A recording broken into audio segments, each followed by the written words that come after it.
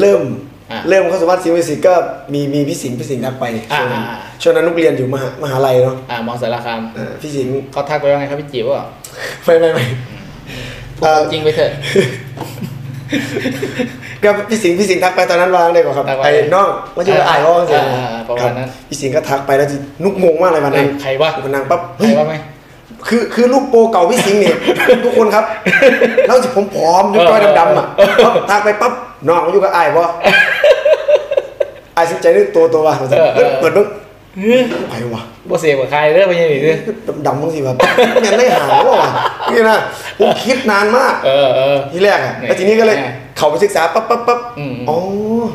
ปีเมียนอีกทีนี่เจ้าหว่าของใครนี่หว่าเออเออเออของใครสิงห์จริงๆสินะเออเออ ตอนนั้นคือดีใจมากเออที่ที่ที่พี่สิงห์ท้าบทามไปอืมแต่ว่าตอนนั้นด้วยด้วยด้วยหลาย ๆ อย่างที่ยังไม่ลงตัว อ่า ก็เลยลังเลอยู่ ใช่ครับก็ก็เลยลังเลลังเลอยู่ ก็หายห่างกันไปเกับปีโอ้เกือบปีเลยครับพี่สิงห์ใช่ใช่พี่ก็ติดตามเฟซนุกเรื่อยๆนะก็ยังไม่เห็นนุกแบบว่าออกเพลงหรืออะไรครับ พี่ก็เลยทักอีกใช่ไหมอีกรอบนึงใช่ใช่กี่ปีไม่รู้นะใช่ใช่ครับ ก็นานอยู่นะกว่าเราจะได้มาเจอกันทัทักกย้ำทักไปไปอีก อีกรอบนึงว่ายังไงวะไอ้ยังเอิ่นสนใจบ้องสินะ อ่าอ่าอ่าแต่ตอนนั้นน่ะ นุกนุกไปสอบ ติดในสิบ อ่าอ่าอ่าแล้วที่เอาเอาเริ่มเล่าเลยอ่าอะเข้มข้นอันนี้เริ่มเล่าเลย เข้มข้นละ พี่สิงห์ก็ทักทักไปก่อนแล้วทีนี้เวลาก็ล่วงเลยมาประมาณปีหนึ่งอืม แต่พี่สิงห์ก็ทักย้ำไปอีก อืม นุกก็สอบติดในสิบตอนนั้น อืมอืม นุกก็บอกพี่สิงห์ตรงๆนะว่า พี่ ตอนเนี้ยนุกสอบติดในสิบแล้ว อืมอืมรู้ไหมตอนนั้นพี่ ใจแป้วครับใจแป้วพี่พยายามบิ้วว่าเฮ้ยเป็นทหารแต่มันก็ทำเพลงได้นะเออนั่นแหละใช่ใช่ใช่ใช่เฮ้ยเอ้ยน้องมันติดในศิลป์ว่ะทำไงวะแต่ว่าพี่เนี่ยมีคครัวาบมชอบในตัวนุกอยู่แล้วว่าเอ้ยคิดว่าเด็กคนเนี้ยเอามาปั้นได้แน่นอนครับพี่ก็เลยหยอดอีกว่าถึงเป็นทหารก็ทำเพลงได้ใช่นะใช่ใช่ใช่เอาละให้แฟนคลับตอนนั้นนุกบอกว่าพี่สิงห์ครับนุกสอบติดในสิบแล้วเออเออแต่ว่านุกก็นุกนี่มักในมักในการอาชีพ มักในอาชีพร้องเพลงคือกันอ่าอ่าอ่านุนุกไม่อยากถิ่มนุกเนี่ยนะถ้านุกเป็นทหารนี่นุกสามารถจีร้องเพลงควบคู่ไปกับพี่ได้บ่ครับนุกสินะ อืมอ่าพี่สิงห์ก็บอกได้อ่าที่ที่ที่พี่สิงห์บอกว่ากันเออได้มันกับเป็นทหารก็สามารถร้องเพลงควบคู่ไปน้ำได้เออไอ้สิงห์บอกเห็นไว้บนแค้นน่ะแมนครับอันนี้ยกยกตัวอย่างว่ายกมียกหวังมานะครับนุกก็เลยเอาวะเออเป็นทหารพร้อมร้องเพลงไปพร้อมอะนะอ่าอ่าตอนนั้นก็ยังไม่คิดอะไรอืมอืมทีนี้นะครับ วันนั้นนุกก็เรียบร้อยตัดผมอ่าอ่าแต่งอ่าตัดชุดเรียบร้อย แต่งตัวเรียบร้อยพร้อมคือใส่ชุดเข้ากรมเลยวันนั้นเออยกของเข้ากรมไปนั่งต้อนหนาในายพันเลย อ่าครับอันดับแรกเลยคือ เขาถามก่อนเฮ้ยมึงเป็นลิเกหรือเปล่าวะเออถามนี้เลยนะอะไรมึงเป็นลิเกหรือเปล่าวะเออนี่อ๋อผมไม่ใช่ลิเกครับ แต่ว่าผมผมผมชอบร้องเพลงเห็นไหมสิแล้วทันใดนั้นคือในห้องนั้นอะ มันมีกีตาร์ตัวหนึ่งอ่าเฮ้ยงั้นมึงร้องเพลงกูฟังดิเออก็เลยดีดกีตาร์ลองเป็นฟังอ่าลองเป็นฟังปั๊บปั๊บเฮ้ยกูว่ามึงไม่น่าเป็นอาหารนะ เอาเลยมึงน่าจะเป็นนักร้องนะเขาว่าอย่างนี้เออนายพันว่าลุงก็เลยโอ้กระตุ้น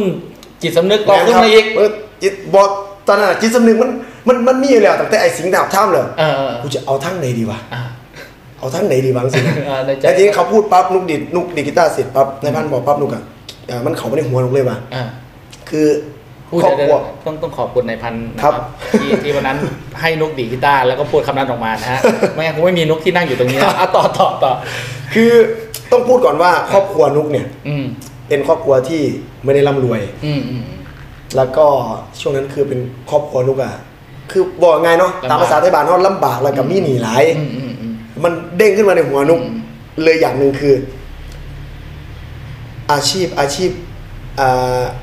อาชีพอะไรที่จะอาชีพทำให้เราแมนครับช่วยพ่อแม่ช่วยครอบครัวได้เร็วที่สุด อาชีพที่สิเฮ็ดให้มึงหาเงินมาใส่หนี้พ่อให้แม่ได้ภายในระยะเวลาที่บ่โดน อืมอืม มันคืออาชีพใดกันแน่วะอ่าสินะอ๋อมีมันก็เด้งเราก็เริ่ตึ้มงคิขึ้ดนมาแล้วนุกก็เลยเอาแล้วว่ะอืม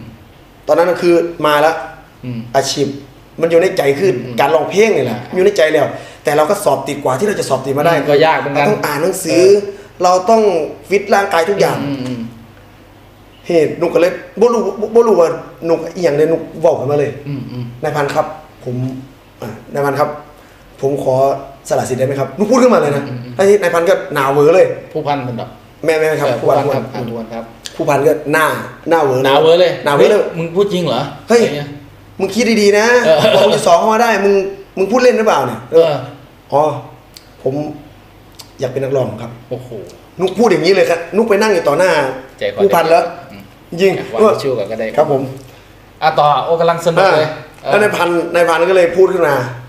มึง มึงต้องเลือกดีๆนะ ถ้ามึงเลือกไปแล้ว อืมมันไม่สามารถกลับคืนได้แล้วนะ อืมอืมเพราะคนที่เขาติดตัวสำรองมีถ้ามึรงอเสียบถ้ามึงตัดปั๊บตัวสำรองเข้ามาเลย มึงไม่สามารถที่กลับมาแล้วอืมอืมผมก็เลยโอเคครับเดี๋ยวงั้นเดี๋ยวนุกโทรหาพ่อก่อนอืมอืมแล้วพ่อนุกนี่คืออ่าเป็นข้าราชการอ่า ใช่ไหมปกไอเอาเอาตามความเอาเอาตามความจริงเลยถ้าสมมติอ่าสมมติสมมติลูกพี่สิงห์สอบติดอย่างเงี้ยอืมอืมปั๊บพี่สิงห์จะเสียดายมากเลยใช่ไหมอืม เออเฮ้ยมึงอย่าออกนะ มึงต้องเป็นอาหารมึงต้องรับราชการ ใช่ใช่ คือคือวันนั้นความหวังแล้วใช่อะครับโอ้มันเป็นเกียรติใช่ของวงตระกูลแล้วก็โอ้ยลูกได้เป็นนายสิบเนาะครับ อะไรอย่างเงี้ยอะแล้วนุกโทรหาพ่อลูกโทรหาเป็นไงทีพ่อเนี้ยแล้ววันนั้นคือมันเหมือนกับฝ่าหรือเอียงหลายๆอย่างโดนบันดาลใจอ่าอ่าคือพ่อนุกไอขอนุกขออย่างหนึ่งได้ปะนุกขอโทษเด้ออืมนุกขอเลือกในการเป็นนักร้องได้ปะครับนุกขอสละสิทธิ์นุกบอกสิเลยเออคือพ่อบ่ได้ว่าบ่ได้หยังเลยอุ้ยเอาเออแสดงว่าวันนั้นนุกไปคนเดียวคนรู้เหมือนกัน ใช่นุกไปคนเดียวเลยพี่สิงห์อ๋อพ่อเนี่ยรออยู่บ้านกับแม่ รู้แล้วว่าลูกไปครับไปเนี่ยไปสเขาอบสัเขามส่ภางษณ์เขาส่งขึ้นรถทัวร์แค่นั้อ่านไปส่งไปสอบสัมภาษณ์ยังไงครับ ก็เข้ารับราชการแน่นอน ไม่ไม่อันอันนี้คือนุกจะเข้ากรมแล้วอ่าอ่าอ่าสอบนั่นแหสัละ มภาษณ์อะไรผ่านหมดแล้ว เอาผ่านหมดแล้วใช่ครับอ๋อวันนี้คือวันเข้ากรมแล้วนุกขนของไปที่จะอยู่ในกรมแล้ว โอ้โหนุกโทรไปพ่อพอยาวานุกเรื่องนุกขออย่างหนึ่งอืมนุกขอเป็นนักร้องเลยบ่นุกขอสารสิทธิ์ทหารณตอนนี้ อืมพ่อบอกเมื่อค่ำเดียวเลยอืมเอาแล้วแต่มึงสิเรียกเอา พ่อบอกเมื่อค่ำเดียวเลยพี่สิงห์ขอบคุณคุณพ่อครับเออ ปกตินี่ พ่อกระใจเด็ดอ่า ลูกกระใจเด็ดครับปกติพ่อคัลูกคุณนี่สุดยอด คันคันเป็นพ่ออมพ่อคนอื่นเนี่ยเอาทั่วๆไปอ่าร้อยทั้งร้อยมึงจะออกให้หยังใช่ใช่มึงสอบได้แล้วสัมผัสมึงก็สัมผัสผ่านแล้วอืม เหลือแต่มึงรับราชการแล้วตอนมีนี้ เปอร์เซ็นต์น้อยมากที่พ่อจะยอมนะใช่ถ้าถ้าเป็นพี่ถ้าเป็นพี่นะพี่ก็คิดว่าพี่ก็ไม่ยอม ครับ นะ แล้วโทรปั๊บแล้วแต่มึงเด้อเออเลือกเอาสิ่งใดที่คิดว่ามันโอเคเลือกเอาเลย อืมอืม แล้วก็ว่างปุ๊บนุกอะนายพันครับนุกขอสารสิทธิ์สารสิทธิ์ครับนุกก็เสร็จปั๊บกลับมาขอนแก่นเลยนายพันอะก็เคลียร์กับนายพันปั๊บอ่าปั๊บปั๊บปั๊บปั๊บแล้วนุกก็ยกของขึ้นแท็กซี่เลย ชุดทหารโอ้สุดยอดแล้วก็ไปเปลี่ยนชุดอยู่บขสอ่าครับไปเปหลี่ยมนอชิดชุดหมอชิดแมนแมนแมนครับหมอชิดหมอแมชิดนเพื่อจะขี่รถบัสกลับครับกลัรถบัสกับขอนแอุปยกครับ แล้วพี่สิงห์วันนั้นอะ ก่อนที่จะขึ้นรถบัส นุกโทรหาพี่สิงห์เอาเหรอ ใช่วันนั้นอะ ที่นุกร้องให้น่ะที่นุกนุกเลียใจว่านุกก็รู้ว่ากูเลือกไอ้หยังเออคือเอาข้าราชการได้แล้วจำได้ทำไมไม่เอาเออพี่สิงห์แล้วนะแล้วแล้วพูดที่มันเป็นยังไง ที่นุกขอพี่สิงห์พี่สิงห์ครับนุกขอไปอยู่กับพี่สิงห์ได้ไหมครับโอ้อ่านุกนุกเสราสิทธิ์นี่คือเหตุการณ์ที่เราได้กำลังจะกลับมาขอนแก่นแล้วใช่ไหแมมนครับเออเหรอนุกนั่งรอรถถ้าพี่นึกว่านุกโทรจากขอนแก่น ไม่ไม่ไม่ครับอยู่หมอชิดนุกเลยบขสเลยเออ หมอชิดเลยครับ เออวันนั้นนุกโทรมาว่าไงนะ ใช่ นุกโอ้นุกไห้เลยอืม นุกเลียใจว่า ทหารมึงได้แล้วทำไมไม่เอาเออเออเออมึงจะไปเป็นนักร้องที่ ยังไม่รู้เลยยังว่าไม่จะดัรู้งเลยไม่ว่าดัง จะดังหรือไม่ดังเอออ่าแล้วยังไม่รู้เลยว่าพี่สิงห์จะรับหรือไม่รับเออประมาณนี้เออเออเออนุกขอโทษครับพี่สิงห์ครับพี่สิงห์ยังรับหนุ่มบ่ครับนี่เออนุกงงสิเลยเออไม่เนี่ยแต่แต่แต่ว่ามันโดนแล้วมันโดนแล้วเออเออพี่สิงห์สิรับหนุ่มบ่ครับ ตอนนี้นุกนุกลาออกจากจากทหารแล้วเออนุกอยากไปอยู่กับพี่สิงห์นุกขอไปอยู่กับพี่สิงห์ได้บ่ครับเออนุกงงสิ แล้วแล้วพญายพิงค์หล่อๆนั้นเขาว่าไง พี่สิงห์ก็บอกเลย โอเคน้อง โตพร้อมมือไหนโตมาหาอายเลยนี่อายรับตัวได้เสมอโอ้โหไอ้สิงห์บอกสิเลยแองหล่อชิบหายเลยนั่นแหละครับแล้วนุกก็เออนุกก็ให้ตลอดทาถ่างยอีกแล้วขายอยู่มอนั่นเอาแต่โอเค ก็วันนั้นเออนุกโทรมาพี่จำได้อครัยู่บครับแต่พี่ไม่รู้ว่านุกโทรจากหมอชิดครับพี่นึกว่าโทรอยู่บ้านอยู่ขอนแก่นอยู่อะไรเงี้ยโทรมาเล่นแบบพี่จริงครับยังรับนุกอยู่ไหมอะไรเงี้ยครับโอ้ถ้าพี่รู้อารมณ์ตอนนั้นนะก็ก็คงจะโอ้ซึ้งว่ะซึ้งว่ะครับ โอเค ทีนี้เท้าความไปนิดนึงแล้วไปมั่นใจได้ไงว่าอีตาสิงห์เนี่ยจะพาคนเดินไปถึงตรงนั้นตรงนี้ได้ คือค่ายเพลงมีเยอะแยะ มีโปรดิวเซอร์คนอื่นเยอะแยะทำไมถึงเลือกโทรกลับมาหาพี่สิงห์เอาคือทำไมถึงเลือกโทรกลับไปหาใช่ไหมอืม คือหนึ่งเลยอืม พี่สายแนนพี่สายแนนภูงามอ่าเขาเป็นพี่ที่เป็นพี่สาวที่นุกนับถือมากอ่าอ่าเขาได้มาอยู่กับพี่สิงห์แล้ว อ่าอ่า ครับแล้วนุกก็เห็น เห็นอ่าพี่สายแน่นอ่าคือหวั่นเลยในโลกโซเชียลอ่ามีไม่ว่าจะเป็นการมีอะไรคบเวอร์ไม่ว่าจะเป็นการอ่าเพลงเราเนี่ยโอ้โหอืมมันสุดยอดมากแล้วอืมอืมนุกก็เลยมั่นใจว่าพี่สิงห์เนี่ยจะสามารถพานุกเดินขึ้นไปสู่ดวงดาวได้แน่นอนอืมตอนนั้นนะคล้ายๆว่าพี่สายเนี่ยเขามีโปรไฟล์งานออกมาเยอะใช่ว่างั้นเถอะใช่ถ้าเราก็เริ่มมั่นใจว่าเออครับค่ายนี้เขาสร้างงานจริงแล้วก็ทำงานนัร้องจริง แล้วก็อีกอย่างหนึ่งอีกอย่างหนึ่งที่สำคัญเลยคืออมที่นุกกล้ามาอยู่พี่สิงห์เพราะอืมนุกก็ยังมีเสียเลยพี่สิงห์อ่าอีรีครับขอบคุณนุกมันมันต้องการ ที่จะปลดหนี้อืมแล้วคนที่จะปลดหนี้ก็ต้องก็เป็นนุกนี่แหละเพราะว่าน้องน้องมันมันยังเล็กอยู่อ่าอ่าคือนุกว่าเลยนุกว่าหยาดแล้วว่าหยาดนี่ยังสักอย่างแหละคืออมไปอย่างเดียวอะนั่นสินะก็ดีก็ดีครับก็ถือว่าบุญภาวาสนาให้มาเจอกันอะต่อปุ๊บทีเนี้ยวันนั้นพอมาหาพี่สิงห์แล้วอะโทรคุยกันเรียบร้อยแล้วครับวันที่วันที่คุณพ่อคุณแม่พาอ๋มาออ่าใช่ไหมวันนั้นใช่ใช่ใช่วันนั้นใช่ครับวันนั้นวันแรกที่ที่วันแรกคุวันแรกวันแรกวันยังแรกไม่เซ็นสัญญาที่มาคุยกันก่อนอ่าอ่าอ่าก็ มา พ่อกับแม่พามาแล้วคุยกันในรถว่ายังไง พี่อยากรู้ว่าทำไมเพิ่นถึงพากล้าพามาหรือแบบ มั่นใจอะไรยังไง กับลูกกับว่ารู้ว่าเพิ่นมั่นใจอย่างนี้กันเลยพี่สิงห์เออเออเพิ่นกับพาขับรถมาแล้วเพิ่นกับบอกตลอดทางเลยว่าอ่าเนี่ยนะ อืมเป็นการตัดสินใจครั้งที่ยิ่งใหญ่ อืมและเป็นการตัดสินใจที่ที่ที่เด็ดขาดมาก อืมที่ไม่เอาในจุดจุดๆนั้น อืมและมาเอาในจุดจุดๆนี้ อ่า ก็ตั้งใจในสิ่งที่ตัวเองเลือก อืมอืมอืม แต่เพิ่นบ่ได้บอกว่า ย่านเพิ่นหลอกย่านเพิ่นหยังเพิ่นบ่บอกเลย ครับ ก็ถือว่าเอาตามใจลูกอ่าลูกอยากมาก็พามาเอ้ยวันนั้นได้เซ็นสัญญากันเพราะว่ามีพ่อกับแม่เป็นพยานอยู่ลืมลืมครับ ลืมก็ได้เซ็นสัญญากันวันนั้น เสร็จปุ๊บอ่าเริ่มเข้าสู่บ้านสิงห์นี้มาอยู่กับใครอะไรยังไง ก็มากับขนมต้มนะครับผมเป็นก็มาอยู่บ้านสิงห์ใหม่ มาอยู่บ้านสิงห์ใหม่ๆก็จะเป็นจะจะเป็นอ่าบ้านหนึ่งหลังอ่า ที่ที่ที่พี่สิงห์อ่า เช่าเช่าไว้ให้อยู่เช่าไว้ให้อยู่จะเป็น academy อ่าอ่าของของของของศิลปินอ่าสิงห์มิวสิคอ่าอ่าคือแรกๆนี่แต่เดี๋ยวทักก่อนก่อนไปก่อนพี่บอกแล้วใช่ไหมว่านักร้องมีเงินเดือนนะครับต้องอยู่อย่างอดทนนะครับนุ๊กอยู่ได้นะ นุ๊กเก็บเสื้อผ้ามา นุ๊กอยู่ได้นะนุ๊กบอกครับ อยู่ได้ครับใช่ไหมครับไม่หรอกพี่อยากทดลองทดลองความแข็งแกร่งของน้องๆเฉยๆครับเอาบอกฏว่ามาปุ๊บมาปั๊บเป็นยังไงทีเนี้ย ที่แรกก็โอเคอยู่ครับ เพราะว่ามันมันมีเงินมันมีเงินนิดนึงมาอ่ามัเงินติดตัวมาอยู่ติช่วดงตัวแรขกองๆลูกมาอ่าก็ไม่ไม่เยอะหรอกประมาณประประมาณหนึ่งครับเออหลักพันหลักพันเอเนี่ยอครับทีนี้พอใช้เงินหมดแล้วเป็นไงทีนี้หมดปั๊บโอ้โหมันต้องบริหารทุกอย่าง คือเป็นคนที่ไม่ไม่ไม่ค่อยที่จะบริหารเงินเท่าไหร่เออเออครับเออคือมาอยู่ปั๊บอืมต้องบริหารเงินแล้วเอาบอกว่าตรงตมแล้วตรงเนื้อในบาท เฮ้ยกูยังทำนี่ปะเออเอาแล้วห้องใส่ใส่เงินอยังประหยัดได้นี่ว่าสิกินสิยังเออเออเออที่นี่คือตั้งแต่ตอนนั้นมาคือมันประหยัดมากพี่สิงห์อืมว่าจะกินเขาวกินหยังจะกิน จะกินขนมกินเหรียญกินหยังหรือบ่ได้แล้วเออคือเงินมึงมีสำนีปั๊บเออมึงต้องแบ่งไปแล้วอะเออมึงส่วนนี้ไปกินเขาวอืมอืมเอาไปกินเขาวมืออื่นเด้อเออเออเฮ้อเด้อนี่สินะเออวางไว้เออเป็นสแล้วเต็ปสเต็ปครับหนึ่งก้อนนั้นก็หมดหมดลงบนลงหมดลงเออ แล้วยังไงอต่อดทีหนี้ลายวันมากเออเออเออไม่กล้าที่จะเอ่ยปากบอกพี่สิงห์และพี่ออนที่แรกเออเออและช่วงนั้นคือต้มบ่ไหวแล้ววะอืมอืมเงินผมมีเลยอืมไปบ้านพี่สิงห์กับพี่ออนซูมือเออเออไปกินมาม่าก็ยังดีเออเออเออแต่เพราะว่าพี่สิงห์กับพี่ออนนี่จะ พูดได้ว่าเป็นพี่ชายที่เปรียบเสมือนพี่สิงห์เปรียบเสมือนพ่อพี่ออนเปรียบเสมือนแม่เลยเออตอนเย็นไม่รู้แหละว่าน้องว่าน้องในในค่ายนี่จะเข้าไปในบ้านเขาไหมอืมแต่เขาจะทำกับข้าวไว้เยอะมากเออไม่รู้ว่าเขาทำไว้ทำไม บางบางวันน้องไม่เข้าไปเขาก็จะเอาทิ้งอืมหรือไม่เขาก็เอาใช่ใช่ เอาที่ให้มาให้ยังไป คือจริงๆ พี่เนี่ยทำไว้ให้พวกน้องๆนั่นแหละ ครับ แต่พี่ก็บอกว่าไม่ต้องเกรงใจเข้ามากินได้เลย เพราะว่าคืออยู่บ้านมันก็ไม่ค่อยมีคนกินมีแค่พี่พี่ออนแล้วก็เด็กๆมันก็ไม่ค่อยกินกัน ครับ ทีเนี้ยไอ้พวกนี้ก็คาแต่เกรงใจไง เกรงใจที่มื้แรอกอดมื้อกินมื้อ ทีนี้ก็เลยทำไว้ให้เลย เพราะว่าพี่มองแล้วว่า คือมาม่าพี่หมดตลอดไงช่วงนั้น ก็ถามพี่ออนว่าเอ้ยมาม่าเราไปไหนหมด ก็เด็กสิงห์อะพวกนักร้องน่ะมันมาเอาไปกินอะ บางคนก็ห่อกลับบ้านด้วยเฮ้ยเด็กมันแสดงว่าเด็กมันไม่มีอะไรกินแล้วนะนี่ครับเออไปซื้อมาอีกพี่ก็บอกพี่ออนไปซื้อมาม่าซื้ออะไรมาตุนตุนไว้ไว้ตลอด ซื้ออาหารมาไว้นั่นแหละก็ถือว่าเป็นการช่วยเหลือน้องๆ ในช่วงที่กำลังไต่ดาวอยู่กำลังอ่าเป็นนักร้องอะไรเงี้ย โอ้แต่ว่ามันมันมันพูดได้ว่ามันเป็น story มากๆเลยพี่สิงห์อืมต้องต้องต้องขอบคุณพี่สิงห์ครับครับขอบคุณเช่นเดียวกันครับที่ทำให้น้องที่ทำให้น้องมีความอดทนแล้วก็อ่าทำให้น้องมีใจฮึดสู้ที่ว่า อ่า กูไม่มีกินแล้วนะอืมกูไม่มีกินแล้วนะจะให้พี่สิงห์มาดูแลอย่างนี้ตลอดไม่ได้เพราะพี่สิงห์มีคนเดียวคืออุ้มอุ้มทั้งองค์กรอืมอืมมึงต้องไต่ขึ้นมามึงต้องดังมึงต้องอืมมีเงินแล้วนะอะไรประมาณนี้อะพี่พี่คิดพี่คิดครัคิดบทุกอย่างคิดคิดทุกช็อตทีนี้พอ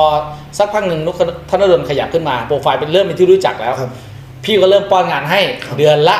ก็ไม่เยอะหรอกตอนนั้นครันะบสามคิวห้าคิวบ้างครับใช่ใช่คิวหนึ่งสองคิวแล้วแต่พอให้ได้ประทังกันไปก็ถือว่าดีขึ้นมาอีกในระดับหนึ่งดีขึ้นมาในระดับหนึ่งก็ในช่วงนั้น ก็ถือว่าโอ้อยู่กันแบบต่อสู้เหมือนกันนะต่อสู้ช่วงต่อสู้ช่วงที่มากยังไม่ดัง ก็ไม่อยากให้น้องลำบาก คือเห็นทุกคนนั่นแหละ แต่ว่าบางคนก็เอ่อเที่ยวไปเที่ยวมาอะไรเงี้ยครับก็ไม่ซีเรียสแต่คนที่พักอยู่พี่พี่ก็ค่อนข้างจะซีเรียสอยู่ว่าจะให้น้องๆอยู่ยังไง ให้มันครับไม่เดือดร้อนครอบครัวอะไรเงี้ย ทีนี้พอโอเค ผ่านจุดนั้นไปแล้ว ช่วงที่คนยังไม่รู้จักนุกทำตัวยังไง อยู่ในค่ายช่วงที่คนยังไม่รู้จักนะครับ อ่า นุกก็ ทำทำตัวนี่หมายถึงไงครับสร้างสร้างใช่สร้คือการทำสโปงารไฟนล์เหคบอ่าอะไรต่างๆ แล้วก็ หมายถึงว่ามีแฟนคลับยังไม่เยอะขนาดเนี้ยอ๋อมันครับนุกทำตัวไงแล้วรู้สึกว่าตัวเองต้องแอคทีฟตัวเองขนาดไหน คือช่วงนั้นนุกจะบอกว่านุกนุกหนึ่งเล่นนุกเป็นคนขี่คิดมากอ่าคิดมากมากอ่าไม่รู้ว่าจะเอาเงิน ไม่รู้ว่าจะเอาเงินที่ไหนมามามามากินข้าวกินอะไรอืมแล้วก็บางครั้งพ่อกับแม่ก็โทรมาอืมนุกมีเงินไหมอ่าแม่แม่ว่าแม่จะเอาไปจ่ายค่าอืมนั่นนี่อืมอืมคืออาสมมตินุกมีพันหางสิอืมแม่ขอหนึ่งพันอืมอืม ผมก็จะโอนให้แม่นะอ่านี่สินะก็ยอมอุดนี่สินะอ่าแล้วพี่สิงห์ถามว่านุกทำทำทำยังไงใช่ไหมครับ ช่วงนั้นอืมนุกกาสีว่าจะเป็นการ cover เพลงอืมดีดกีตาร์ลง Face อ่ากับว่ามีคนเบิ่งกับพี่สิงห์ตอนนั้นอ่ามันมันมันมันมันเป็นช่วงที่กลางๆเนาะอ่ายัยังยังยังไม่มีคนรู้จักอ่าก็สีไลฟ์สดแต่ว่านุกนี่จะเป็นคนคนคนหนึ่งของสิงห์ Music ทีพี่สิงห์และพี่ออนนี่สิด่าตลอดเลยว่า มึงเห็นยังอยู่อะเออเออใช่ เออมึงอีหยังนี่เฮ็ดใช่เฮ็ดอีหยังกับใช่โซเชียลนี่อืมเฮ็ดให้มันมากกว่านี้ที่ใช่ พี่สิงห์กับพี่ออนจะกระตุ้นตลอดเลย คือหนึ่งด้วยพี่เห็นด้วยลุกด้วยอะไรทุกอย่างแล้วคือนุกพร้อม พร้อมที่จะขึ้นมาได้แล้ว แต่ว่าคุณไม่ขยันเล่นโซเชียลเลย ครับไม่ทำอะไรเลยมีแต่ ก็ก็ทำอยู่แต่ไม่จริงจังไม่ไม่ได้แบบเหมือนที่คุยกันไว้หมายถึงว่า อุตสาห์ลาออกจากในสิบมาครับ เฮ้ยมึงจะทำตัวงี้เหรอจะอยู่แค่นี้เหรอนุกมันไม่ได้ พี่ก็ด่า เจอหน้าก็ด่า ไอ้นุกเหมือนกันต้องอัพเล่นโซเชียลให้หนักกว่านี้นะพี่จะด่าตลอด ปรากฏว่า ก็เริ่มเล่น ครับเริ่มเล่นเริ่มเล่นเริ่มเล่นเยอะขึ้นนกในช่วงนั้นพี่ก็เห็นแล้วก็มาก้าวก้าวมาสู่ TikTok นี่แหละอ่ากำลังจะถามกำลังจะถาม TikTok ทีเนี้ย TikTok เนี่ยไปซึมซับมาจากใครหรือคิดว่ายังไงถึงเริ่มมาเล่น TikTok กัน TikTok TikTok นี่คืออะต้องพูดก่อนว่าอะนุกนุกนี่เล่นไปไปบอกให้เล่นอ่าอ่าจริงๆนะพี่สิงห์อ่าแต่ไปไปนี่จะได้มาจากยามี่อ่าอ่าอ่าอ่าเป็นต่อกันมาเป็นทอดก็ลูกลูกสาวพี่สิงห์นะครับ ผมเป็นคนที่เล่นเล่นเล่นก่อนเลยเล่นก่อนเลยเออน้องยามี่แล้วก็มาระบาดสู่นักร้องในค่ายแล้วก็มาระบาดสู่พี่ปายเออพี่ปายต้องเล่นนะแบบเนี้ยเออเออเออมันก็สอนไปไปเลยเออจุดเปลี่ยนของเรานี่มาจาก TikTok ไหมมีอืมเชื่อว่ายังไงบ้าง จุดจุดเปลี่ยนทำให้คนเริ่มรู้จักนุกนุกปายเยอะขึ้นเนี่ย อันนี้คือคือใช่ใช่เลยพี่ใช่เลยไหม TikTok เลยครับ TikTok เนี่ยตัวสำคัญเลยใช่ครับอืมว่าทำ ช่วงช่วงอ่าก่อนหน้าเนี้ยก็เวลาไปงานหรือไปอย่างนี้อืม พี่รู้จักน้องจากไหนครับเนี่ยอืมโอ้ก็จาก TikTok ไงอ่า เอาไปเฮ้ยเนี่ยเขาดังเนี่ย TikTok TikTok TikTok เออ TikTok มาเออ แฟนคลับจาก TikTok มาต้องต้อง ติดตามเยอะมาก ครับต้องขอบคุณ TikTok มากเลย โอเค ขอบคุณ TikTok นะครับ 50 up อะนะครับช่วงโควิดแล้วคือรายได้ไม่มีเข้ามาเลย ใช่รายได้ไม่มีเข้ามาเลย อืม แล้วพี่สิงห์ก็ต้อง ก็ยังว่าเนาะเงินเดือนก็ต้องจ่ายทุกเดือนทุกเดือนใช่ทุกเดือนก็ประคับประคองเหมือนเดิมทุกเดือน อืมอืม ไม่ว่าจะเป็นค่าไฟค่าน้ำทุกอย่างค่าเน็ตคือพี่สิงห์แบกรับทุกอย่างเลย ก็รู้สึกตอนตอนนี้ก็นุกก็มีงานขึ้นมาอืมปายก็มีงานขึ้นมา ก็รู้สึกที่ภูมิใจภูมิใจที่อืมสามารถอะเป็นส่วนหนึ่งที่ช่วยพี่สิงห์แล้วก็ช่วยทีมงานแล้วก็ช่วยช่วยช่วยสีมิวสิกอืมก็ก็ถือว่าถือว่าโอเคครับดีขึ้นในช่วงโควิดรับก็ถือว่าค่ายหนักมากครับหนักหนักมากช่วงนั้นพี่ก็พูดตลอดบอกแฟนคลับ ก็ถือว่าเหมือนเราได้รับอานิสงส์มาแฟนคลับ ให้เรากลับขึ้นมาเยอะมากนะครับต้องขอบคุณแฟนคลับขอบคุณครับนะขอบคุณครับที่ให้ให้ผมและให้น้องๆด้วย ให้ค่ายด้วยนะฮะครับคือเหมือนแบบรอดตายอะนุกครับ